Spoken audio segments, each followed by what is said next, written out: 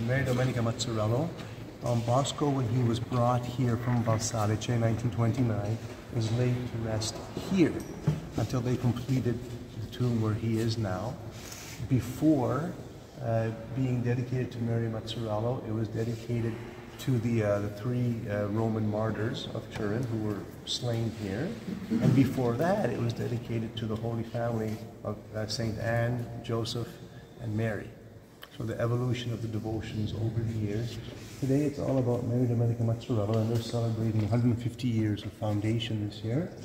In the middle, by the artist Crida, uh, Mary Domenica in the glories of heaven, assumed into heaven. On the left over here, you see her being um, officially named superior of the Salesian sisters, receiving the constitutions.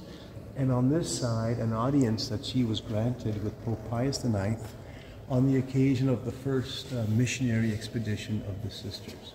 So it's really a story of the Salesian family that's told, okay, in these in these chapels.